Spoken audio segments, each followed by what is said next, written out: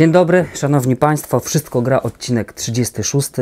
Dziś spotkanie z instrumentami, które są określone jako perkusjonalia, instrumenty perkusyjne, czy też tak potocznie czasem nazywane są przeszkadzajkami. Choć uważam, że bardziej powinny się nazywać y, pomagajkami, y, czyli to są takie pomagajki, bo one właśnie mają wnieść y, nowe kolory do muzyki, do utworów, do muzyki, do utworów. I co właśnie w tym odcinku będę chciał zaprezentować i pokazać.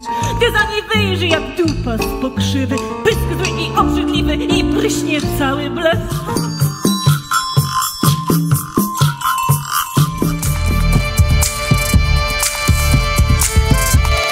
Cztery ostatnie odcinki, szanowni państwo, kto śledzi, to zauważył, że były bez czołówki, także musimy sobie przypomnieć też, jak wygląda wszystko grająca czołówka. Zapraszam.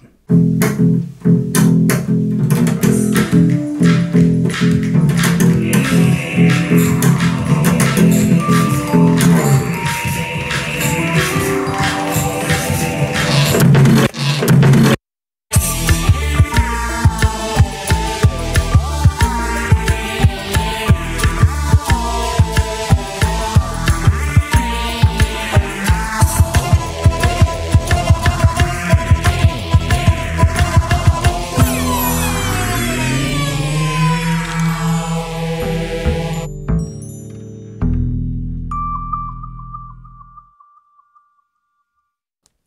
Oczywiście wracamy też do kawy. Ja w okresie zimowym polecam kawę z imbirem. Naprawdę warto. Szanowni Państwo, temat jest tak obszerny, że właściwie cała seria Wszystko gra mogłaby być poświęcona tylko e, instrumentom perkusyjnym. Można powiedzieć, że na swój sposób ten temat streściłem zaraz na początku naszego spotkania. Niemniej ja spróbuję troszeczkę wejść w szczegóły i przynajmniej te najciekawsze instrumenty perkusyjne dziś zaprezentować. Ale zanim zacznę gadać, proponuję od razu odrobinę muzyki i właściwie tutaj troszeczkę szerszy kontekst, bo perkusjonalia umieszczone w takim kontekście muzyczno-teatralnym, fragment spektaklu Przybora na 102, przygotowany przez Magdę Umer i Mumio. I tutaj właśnie Jadzia, z którą e, mam przyjemność występować na środku sceny, wymyśliła taki utwór, w którym e, perkusjonalia e, zagrały nie tylko dźwiękowo, a właśnie o gdzieś tutaj ten instrument nawet zagrał mm, pewne zwierzę yy, w tej piosence, także zapraszam do wysłuchania i obejrzenia.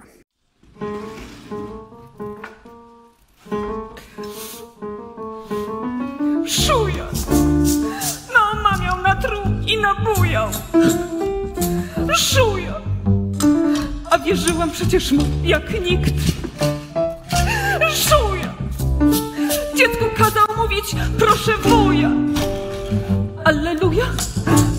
Wesołego zrobił mi i znikł.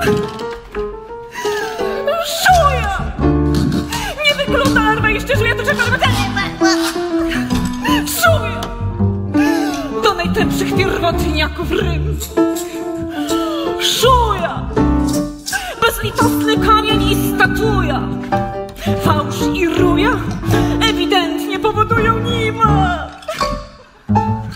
Gdy życie starło z faceta już maskę Gdy mu fasada rozpada się z trzaskiem. Gdy za nie wyjrzy jak dupa z pokrzywy. Pysk zły i obrzydliwy i pryśnie cały blef.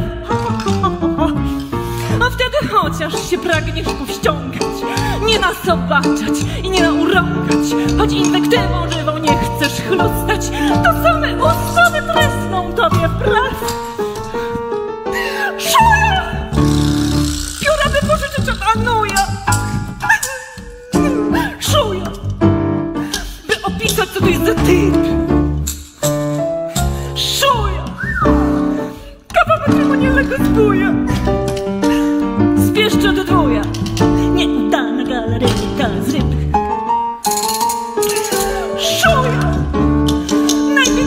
Gęski życia ujan Szuja!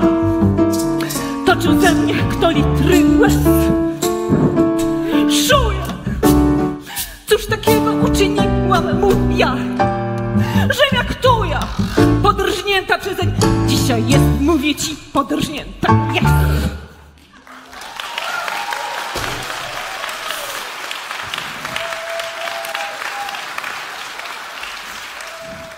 Kurczę, naprawdę nie wiem od czego zacząć.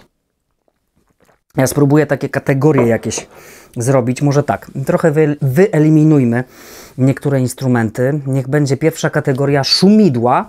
I tutaj instrumenty, które już były w odcinku 11 i 12. Zapraszam, jeśli ktoś yy, nie widział, w 11 prezentuję kij deszczowy. A w odcinku 12 też pokazuję, jak taki kij deszczowy samemu w domu zrobić.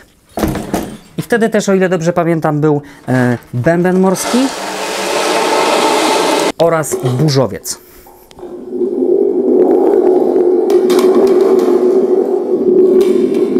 Zresztą przed chwilą w utworze Shimishuya też na końcu właśnie pojawił się taki mały burzowiec z takim dźwiękiem. Dobrze, co tu się jeszcze zalicza do szumideł? Ja myślę, że o, właśnie takie afrykańskie instrumenty. Afryce w ogóle bardzo często instrumenty są wykonane y, z roślin.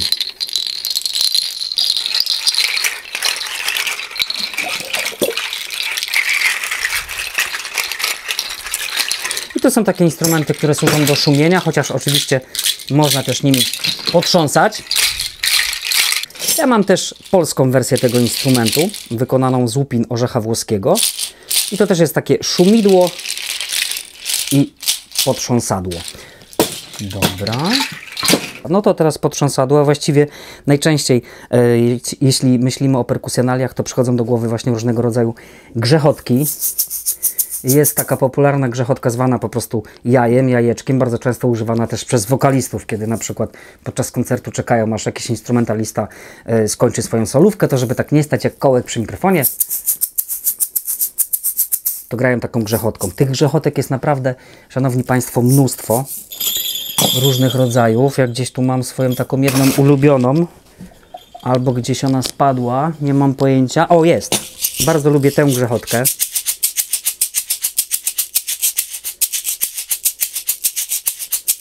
Ona ma takie fajne, ciepłe brzmienie, a właśnie ja zapomniałem, miałem sobie tutaj trochę nogami pomagać, bo mam, siedzę na kachonie, mam pod sobą kachon, a na nogi miałem założyć takie janczarki indyjskie, które się nazywają gungru, także przepraszam na chwilę, ja się tu oporządzę.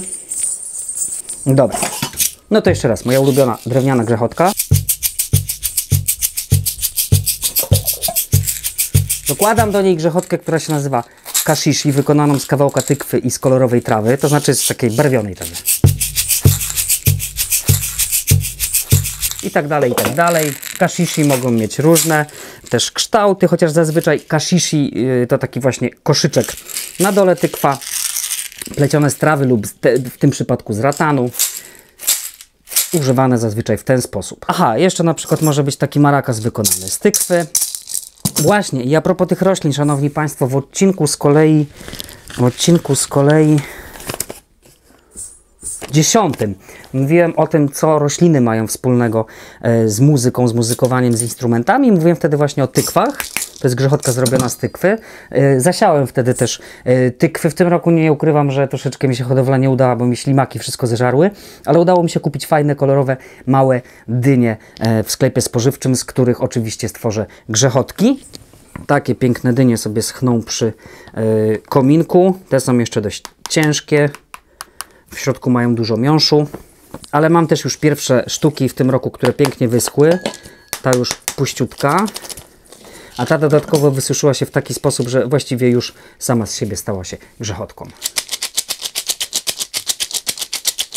Także zachęcam w tej chwili jeszcze na, e, w dużych supermarketach na dziale warzywnym można takie dynie ozdobne kupić. Podpowiem, że e, te takie właśnie z nieregularną, e, no nie skórką, tylko czym? Nie obudową, znaczy jak się stanie grzechotko, to już będzie obudowa to z tym zewnętrzną, y, te, które mają taką nieregularną zewnętrzną część, bardzo fajnie schną i mają dość grube ścianki po wysuszeniu. No dobrze, e, no dużo tego, szanowni państwo, muszę coś wybrać, to może tak na szybko teraz znowu wrzucimy jakiś utwór muzyczny i tutaj E, główny motyw to będzie taki utwór stworzony właśnie tylko na perkusjonaliach.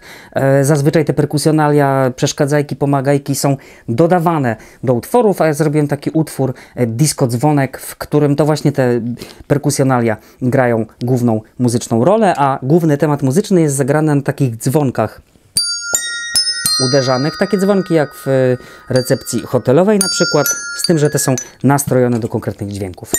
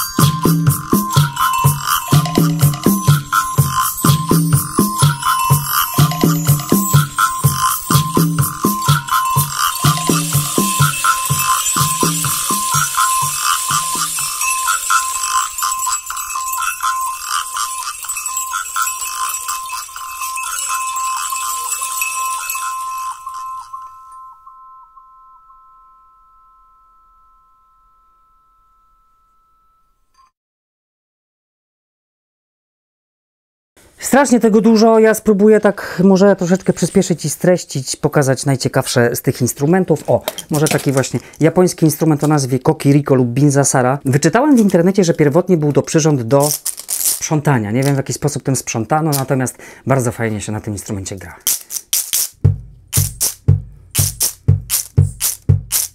Vibra Slap, zwany w Polsce również oślą szczęką, taki instrument efektowy do robienia akcentów.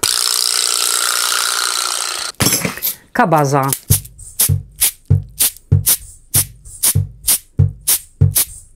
Są też różnego rodzaju perkusjonalia, którymi uzupełnia się zestawy perkusyjne. Na przykład takie coś wykonane z blachy i z takich dzwoneczków jak w tamburynie, czy właśnie taki tamburyn przyczepiany do mechanizmu hi-hatów perkusji. A ja bardzo lubię też to perkusjonalium, które pierwotnie jest stworzone do tego, żeby do afrykańskiego bębna dżembe je doczepić i podczas grania na bębnie ono wydaje dodatkowe dźwięki. Natomiast ja bardzo często je używam właśnie w zestawie instrumentów perkusyjnych. I nawet na płycie kolendowej Arki Noego, e, na której również nagrywałem instrumenty perkusyjne, słychać ten instrument używany zamiast talerza perkusyjnego w wielu momentach. Są też takie instrumenty, które stworzone są po to, żeby zrobić dużo hałasu, taka terkotka.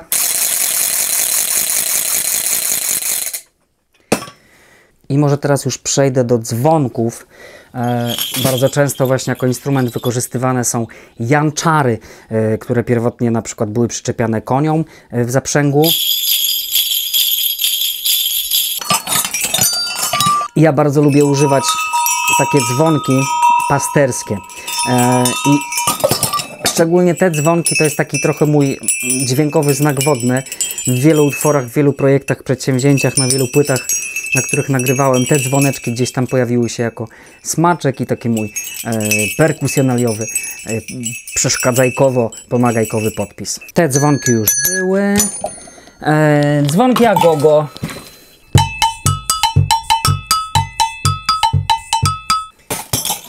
Agogo w wersji plastikowej. Agogo w wersji drewnianej. Właśnie przed chwilą w tym utworze Disco Dzwonek one też zagrały, ale y, one mają jakby taką podwójną funkcję. Można w nie uderzać, ale też działają tak jak guiro. Właśnie zapomniałem powiedzieć, czyli ta larwa, to czerwone, to jest też właśnie guiro. Strasznie chaotycznie o tym opowiadam, Szanowni Państwo, ale kompletnie nie mam pomysłu, jak opowiedzieć w takiej ilości różnego rodzaju instrumentów i no, yy, także za chwilę po prostu przejdziemy do finałowej części odcinka, a ja jeszcze chciałbym powiedzieć o moich ulubionych dzwonkach. Czyli takich rurkach, dzwonki łała się nazywają. Dlaczego? Myślę, że nie trzeba wyjaśniać.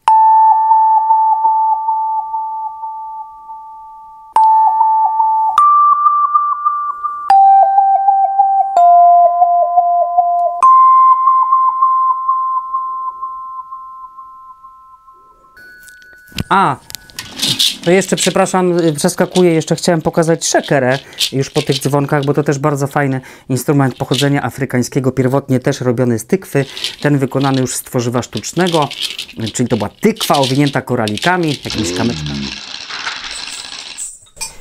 Szanowni Państwo, i tu nastąpiła taka y, trochę przykra sytuacja, Chodzi o to, że po raz pierwszy używam nowej kamery do realizacji serii Wszystko Gra. E, próbuję pracować w lepszej jakości. To się podobno 4K nazywa, czy jakoś tak.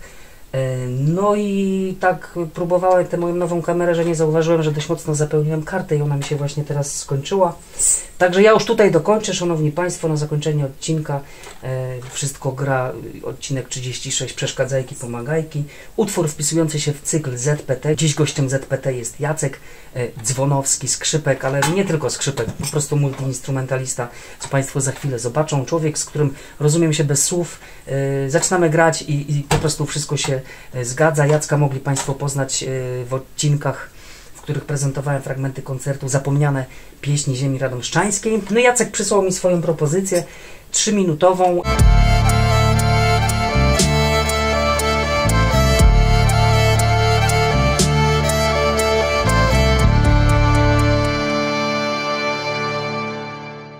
ja potraktowałem to jako możliwość pokazania właśnie różnych brzmień y, perkusjonaliów, przeszkadzajek, pomagajek. Tam też się pojawia na chwilę fujara całaśnikowa, jakoś tam mi strasznie pasowała, także ona jest trochę jakby nie na temat. Natomiast y, Jacka propozycja skończyła się około trzeciej minuty. To, co Państwo usłyszą dalej, to taki rodzaj remiksu, który pozwoliłem sobie na podstawie przysłanych przez Jacka dźwięków wykonać. Także zapraszam. Utwór pod tytułem BDRK. I jest tutaj taka zagadka bez nagrody. Jeśli ktoś z Państwa rozszyfruje, skąd się wziął ten akronim, jest bardzo trudna zagadka, ale jeśli komuś się uda rozszyfrować, skąd się wziął ten akronim BDRK, to ja gratuluję już teraz. Zapraszam do wysłuchania i oglądania.